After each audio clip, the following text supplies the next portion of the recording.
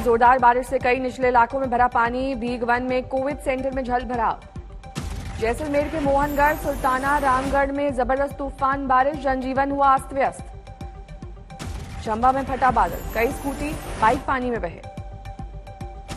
मवेशियों की भी मलबे में चपेट में आने से मौत, घरों में घुसा पानी। मिदनापुर में तूफ़ान का दिख रहा है असर, कई इलाकों में पानी भरा होने के बाद ज़िंदगी दुश्वार।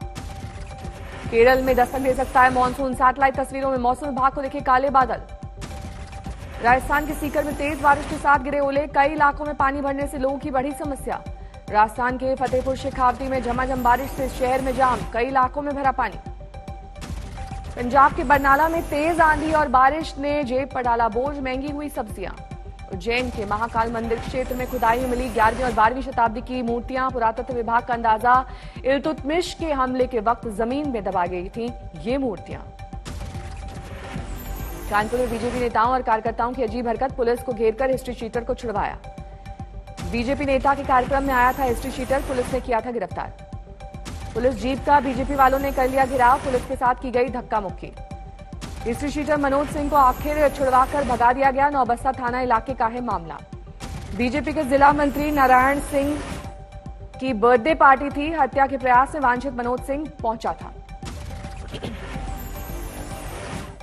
कश्मीर में कुछ घंटों के भीतर दो आतंकी घटनाएँ, त्राल में बीजेपी के काउंसलर राकेश पंडिता की हत्या। दोस्त से मिलने गए पंडिता पर अंधाधुंध बरसाई गई गोलियाँ, हमलावरों की तादाद तीन, पंडिता को थी सुरक्षा हासिल, लेकिन नहीं बच पाई जान। हमले के बाद इलाके की घेराबंदी, आतंकियों की तलाश जारी। त्राल में दूसरा आतंकी हमला एसओजी कैंप पर में पुलिस से छीने गए हथियार। फायरिंग करने वाले आतंकी को पुलिस ने ढेर किया। पंडिता के कथन पर बीजेपी के सरपंच बोले, आतंकी कश्मीर पंडित जनप्रतिनिधियों में फैलाना चाहते हैं दहशत। सीबीएसई परीक्षा कैंसिल होने के बाद कई राज्यों में छात्रों को राहत मध्यप्रदेश उत्तराखंड, गुजरात बोर्ड ने रद्द किए एग्ज़ाम। महाराष्ट्र सरकार ने परीक्षाओं को लेकर आपदा प्रबंधन विभाग के पास भेजा प्रस्ताव, जल्द होगा फैसला। राजस्थान में भी दसवीं और बारहवीं की परीक्षा रद्द, सात जून से शुरू होना था नया सत्र। भारत में कोरोना केस में मामले बढ़त, एक दिन में सामने आए एक लाख बत्तीस हज़ार सात सौ अट्ठासी नए मामले, तीन हज़ार दो सौ लोगों की गई जान। दिल्ली में 24 घंटे में सामने आए कोरोना के पाँच सौ छिहत्तर नए मरीज़, एक दिन में 103 की गई जान। मुंबई में एक दिन में सामने आए कोरोना के 925 नए मरीज़, एक दिन में इकतीस लोगों की मौत।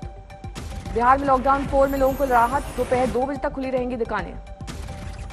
भीलवाड़ा में टूटी कोरोना नियमों की धज्जियाँ, पूर्व सांसद हेमेंद्र सिंह के अंतिम संस्कार में जुटे सैकड़ों लोग। जम्मू में एक महीने बाद खुली शराब की दुकानें सोशल डिस्टेंसिंग की धज्जियाँ उड़ाकर जमा हुए लोग। हरिद्वार में कारोबारियों का विरोध, प्रदर्शन अनलॉक प्रक्रिया शुरू करने की मांग को लेकर सरकार के खिलाफ हल्ला बोल। मध्यप्रदेश के जबलपुर में सड़क पर उतरे कारोबारी, दुकान खोलने की मांग को लेकर नाराज़गी। मुकुल रॉय की पत्नी ने अस्पताल में मिलने पहुँचे अभिषेक बैनर्जी। कुछ दिन से बीमार चल रहे हैं कृष्णा रॉय। शुभेंदु अधिकारी ने पश्चिम बंगाल के राज्यपाल जगदीप धनखड़ से की मुलाकात, सूबे में राजनीतिक हिंसा को लेकर चर्चा। पंजाब कांग्रेस की कला पर दिल्ली में दूसरे दिन की बैठक, हाईकमान की कमेटी ने आज भी कांग्रेस विधायकों से की बात। सीएम के खिलाफ मोर्चा खोलने वाले नवजोत सिंह सिद्धू का पंजाब में विरोध, अपने इलाके में लगे गुमशुदगी के पोस्टर। शिमला में कोरोना से टूरिज़्म सेक्टर पर असर, होटल वालों ने मांगा स्पेशल पैकेज। विशाखापट्टनम में 312 गर्भवती महिलाओं को हुआ कोरोना, लेकिन हुई सुरक्षित डिलीवरी। रायसेन में कुएँ में गिरे तेंदुए का रेस्क्यू, जंगल से पानी की तलाश में खेतों की तरफ़ आया था तेंदुआ। नोएडा में एनकाउंटर में एक बदमाश घायल, एटीएम लूट की कोशिश में शामिल थे बदमाश। मुरादाबाद में टोल प्लाजा पर धरने पर बैठे किसान। राकेश टिकैत बोले, सरकार को माननी होंगी मांगे। मेहुल चौकसी के भारत लाने पर आज फैसला, डोमिनिका हाईकोर्ट में आज फिर सुनवाई। ईडी और सीबीआई की टीम प्रत्यर्पण के लिए डोमिनिका पहुँची। पेश किए चौकसी से जुड़े दस्तावेज़ और सबूत। व्हील चेयर पर कोर्ट में पेश हुआ चौकसी, कहा डोमिनिका में महफूज नहीं, एंटीगुआ भेजा जाए। एंटीगुआ भी चौकसी को भारत को सौंपने के हक में पीएम गैस्टन ब्राउनी ने कहा। डोमिनिका को बता दी अपनी राय। मेहुल चौकसी को डोमिनिका के चीफ मजिस्ट्रेट कोर्ट से झटका, बेल की अर्जी खारिज, पुलिस सुरक्षा में भेजा गया अस्पताल। मेहुल को पुलिस सुरक्षा में भेजा गया अस्पताल, बेल की याचिका खारिज होने से लगा झटका।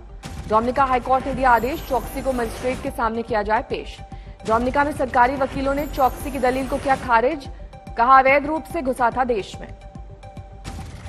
चौकसी के वकील की दलील, जॉली हार्बर से किया गया अगवा, जबरन लाया गया डोमिनिका।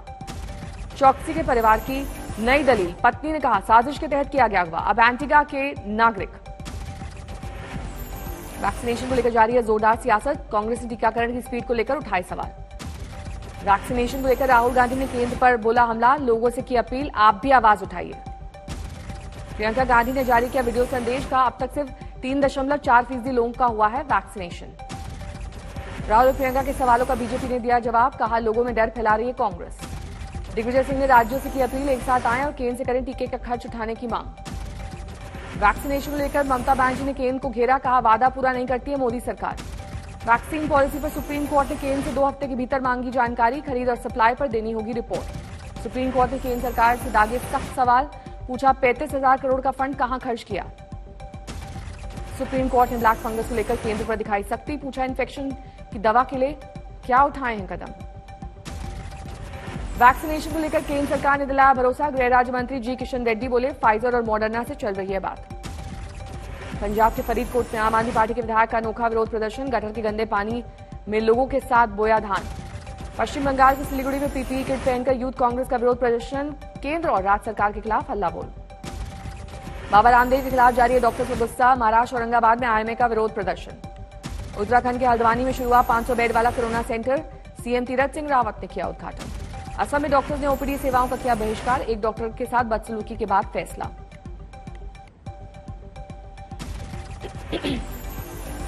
पठानकोट में लगे सांसद सनी देओल के गुमशुदगी के पोस्टर, यूथ कांग्रेस ने बस स्टैंड और रेलवे स्टेशन पर लगाए होर्डिंग्स। ग्रेटर नोएडा के पुलिस वालों के लिए शुरू हुआ वैक्सीनेशन सेंटर, नोएडा के पुलिस कमिश्नर ने किया उद्घाटन। बाराबंकी में अनलॉक के दूसरे दिन उड़ी सोशल डिस्टेंसिंग की धज्जियाँ, बाजारों में बढ़ती भीड़, देख एक्शन में दिखाई दी पुलिस। जूही चावला की 5G टेक्नोलॉजी के खिलाफ दायर याचिका पर सुनवाई के दौरान अजीब वाक्य, एक शख्स ने सुनाए तीन गाने। जूही चावला ने शेयर किया था सुनवाई का लिंक। गाना गाने वाले शख्स को अदालत में भेजा नोटिस।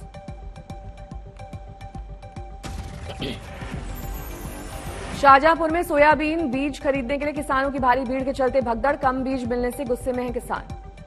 बिहार के नालंदा में कोरोना वैक्सीन के लिए मस्जिद से किया गया जागरूक, इमाम ने लाउडस्पीकर से किया ऐलान। झारखंड के देवघर में एक डेयरी की अनूठी पहल, वैक्सीन लेने वालों को फ्री में मिलेगा पेड़ा और लस्सी।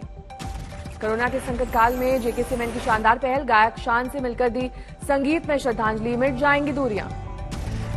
सिंगर शान ने उम्मीद नाम से गाया गाना, समाज में पॉजिटिव संदेश फैलाने के लिए उद्देश्य से अनोखी कोशिश। आइसलैंड में फूटा ज्वालामुखी ड्रोन से में कैद फूटते लावा की तस्वीरें। ब्रिटेन में कोरोना के नए वेरिएंट को लेकर फिक्रमंद। वैक्सीन के लिए हो रही है एस्ट्राजेनिका से बात। एक महीने के भीतर ट्रंप का ब्लॉक पेज बंद। सोशल मीडिया साइट्स के बैन के बाद शुरू किया गया था ब्लॉक पेज। चुनौती मांगने वाले सॉफ्टवेयर के खतरे को लेकर व्हाइट हाउस की सक्रिय बाइडेन करेंगे इस मसले पर पुतिन से बात। श्रीलंका में केमिकल, कार्गो जहाज़ डूबा मछलियों को बड़ा खतरा।